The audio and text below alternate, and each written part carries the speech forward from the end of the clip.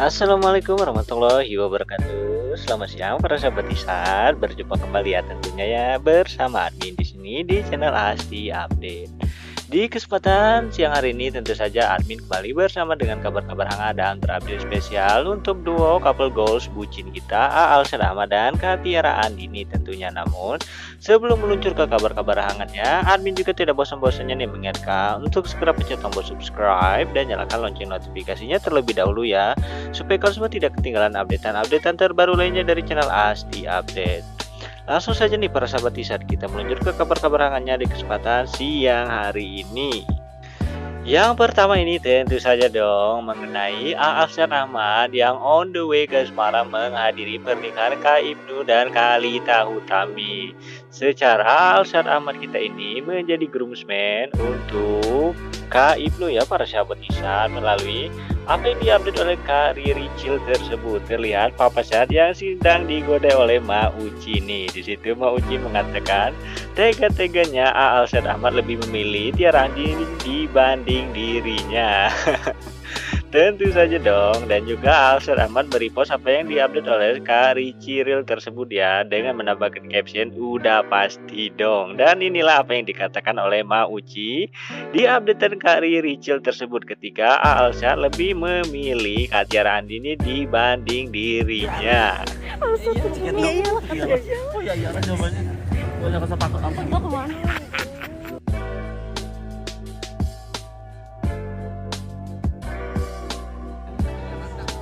Tahun ini aku tunggu sama Tiara, oke? Okay? Melalui updatean instastory yang admin tampilkan sebelumnya, di situ dikonfirmasi secara langsung ya oleh Alsian Ahmad bahwa Kak Tiara Andini tidak ikut serta dengan dirinya nih menemani menghadiri acara pernikahan dari Kak Ibnu dan juga Kak Lita Utamia para sahabat saat Kak Tiara masih menghadiri acara CNM nih opening CNM di Grand Metropolitan. Dan yang admin tampilkan ini adalah tentu saja yang menjadi headline heboh di kesempatan siang hari ini ya unggahan dari Mauci ini langsung saja menjadi buah bibir di Instagram Instagram fanbase. Di situ dengan ciri khasnya Mauci berpose genit nih dengan papanya Selen dan juga captionnya yang bikin kita ngakak ya para sahabat Isa. Di situ Mauci menuliskan Kata Ed Alsir Ahmad, gua mirip Tiara Andini. Hoa nggak sih?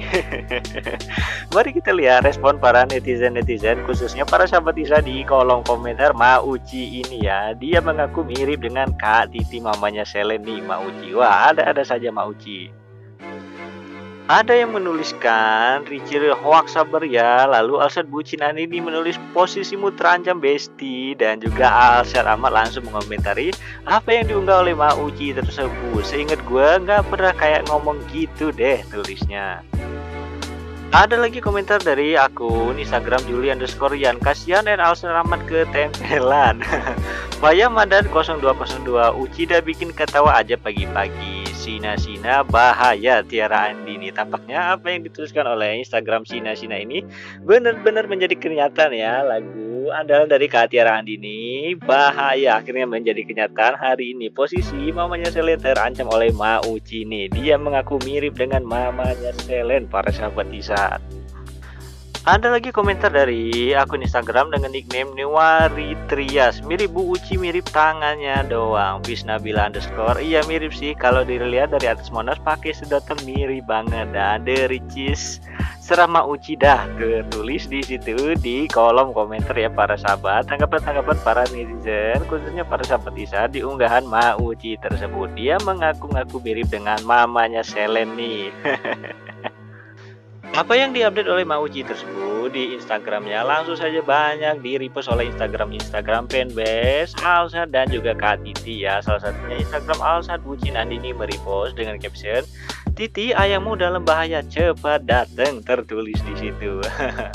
Tampaknya tidak mungkin ya persahabat Isar Kak Titi akan segera on the way ke Semarang karena dia sedang sibuk nih menghadiri acara opening store CNM di Grand Metropolitan dan sudah dikonfirmasi langsung oleh Papa Syad di instastory yang admin tampilkan tadi ya para sahabat Isat Dan ini adalah beberapa screenshot atau foto yang admin tampilkan. Di situ menunjukkan betapa gagahnya papanya Seleni dengan setelan groomsman senada berwarna krem dan putih. Salah satunya Alset Bucin Andini menulis, "Aduh duh mamanya Selen gak ikut ya." Lalu ada lagi update dari TikTokers Fahmi Nur Muhammad nih yang di situ mengabadikan momen mereka berdua menjadi groomsman dan berselfie bersama ya. Fahmi Nur Muhammad dan juga papanya Selen jika para sahabat Isat berandai-andai jika mamanya Selen ikut hadir bersama dengan Papa Sat di acara pernikahannya Kak Ibnu dan juga Kalita mungkin seperti ini nih tampilannya. Seperti yang diupdate oleh Instagram fanbase tim Alsa Sakti X Mutiara ini. Mungkin seperti ini nih setelan atau Gaya dari mamanya Selen pada saat menghadiri acara pernikahan. Diunggahnya juga tim Sakti X Mutiara menuliskan Kira-kira Ayang ikut nggak ya?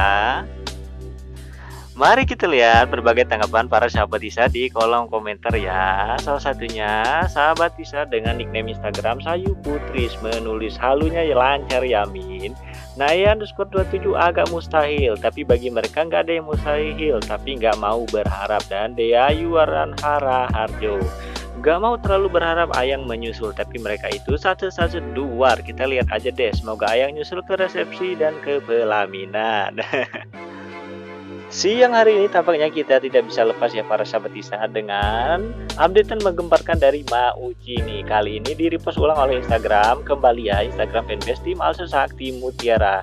Dengan tangan-tangan kreatif dari admin-admin Instagram tersebut, kali ini KTT dihadirkan antara Ma Uci dan juga A Alsyad Ahmad. Di situ diselipkan foto KTT nih. Tim Alsa Sakti Mutiara juga menambahkan caption Uci awas dimarahin pawangnya loh kalau genit. Dan ini adalah update terbaru dan terhangat dari Kak Tiara Andini ya melalui Papa Syat yang diupdate oleh Kak Tiara Andini di situ. Papa Syat menyampaikan salam dan ucapan selamat dari Kak Tiara Andini untuk pasangan yang baru saja melikah Kak Ibnu dan Kak Lita Hutami ya. Di situ tertulis juga mamanya Selen menuliskan Samawa heavy for you guys at Ibu Ibnu Wardani dan at Lita Hutami. Tidak lupa pula Kak Ibnu menanyakan Kapan A Alsyad dan Kak Titi menyusul? Amin nih. Semoga saja ya Kak Ibnu. Ini adalah beberapa foto yang berhasil admin screenshot dan admin sajikan untuk kalian semua nih para sahabat di saat mengenai acara Kak Ibnu dan juga Kalita di Semarang hari ini pas acara ijab kabul dan juga ini ya Allah Masya Allah ya cantiknya Kalita Utami pada saat mengenakan pakaian adat Sunda.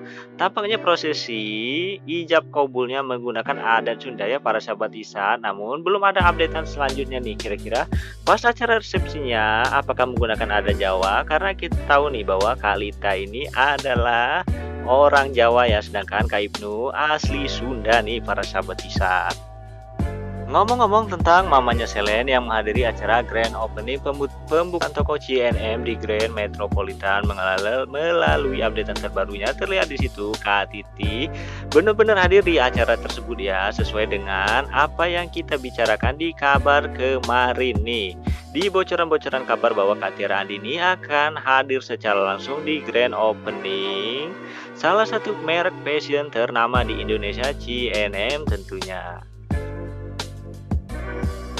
Melalui sebuah updatean dari Instagram fanbase, Alsat Bucin Andini di situ menampilkan suasana dari Mall Grand Metropolitan dan juga tertulis caption, Hai sahabat yang deket-deket sini, buruan Ki ketemu sama Mama Selen. Tentu saja dong buat para sahabat Isat ya, rumahnya berdekatan dengan Grand Metropolitan dan saya untuk melewatkan bertemu langsung dengan sang idola kita ya Mamanya Selen Kak Tiara Andini tentunya bisa langsung meluncur ke Mall Grand Metropolitan nih Siapa tahu bisa berselfie bersama dengan mamanya Selen Dan juga mengkepoin tentang hubungannya dengan Papa Chat ya. Namun yang pasti admin sedikit memberikan himbauan jangan sampai mengganggu privasi atau terlalu mengganggu privasi dari Kak Tiara Andini ya. Jika ingin hadir langsung di acara opening GNM di Grand Metroland. Kita masuk ke kabar penutup nih para sahabat Isa. Di kabar penutup ini sedikit pelajaran hidup yang diunggah oleh Kak Citra Sadikah nih. Melalui kata-kata tersebut, di situ menggambarkan didikan dari Bapak Haji Mansur Ahmad ya atau ayahanda dari A. Alsed Ahmad dan juga T. Citra Sadika. Teh Citra menuliskan di unggahan instastorynya, Bapakku sering banget nasehatin, jangan manja, kalian harus serba bisa. Harus bisa nyuci baju, pakai tangan, harus bisa masak, harus bisa cari uang. Kita nggak tahu karena hidup itu misteri, harus bisa segala macam. Jangan takut, jangan malu, jangan gengsi. Yang penting halal, tidak merugikan negara dan tidak merugikan orang lain. Nasihat yang tertancap di otak kami sampai hari ini. Tidak lupa juga Alsya ditandai di updatean Chess Teh Citra Sadika di siang hari ini ya. Lalu Teh Citra menambahkan, Ingat banget dulu kita ajak bapak ke toko baju merek Zara. Waktu itu awal-awal baru masuk Indonesia. Terus dia lihat price tagnya. Dia bilang, wah mahal banget. Kalian boleh punya, tapi usah nggak usah banyak-banyak. Pakai yang murah tapi bagus juga banyak biar kalian bisa menghargai uang. Tahu yang pantas untuk umur kalian mana yang belum pantas bukan masalah mampu tidak mampu.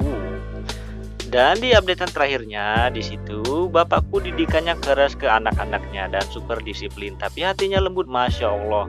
Kita selalu dituntut untuk berprestasi di sekolah. Kalau nggak tiga besar tuh ditanya kenapa kurang rajin ya belajarnya. Ingat dulu kalau musim ujian di rumah nggak boleh ada yang pasang TV selama dua minggu.